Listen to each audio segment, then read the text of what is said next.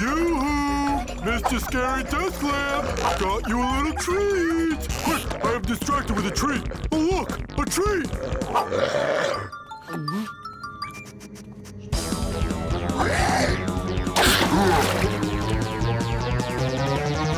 Are we lost, Uncle Grandpa? Probably. But the only way we can be sure is by asking my close friend and personal confidant, Belly Bag. You talk to your belly bag? Yeah, we're super tight. Hey, Belly Bag, we're in a bit of a jam. Can you give us any direction? You got it, Uncle G.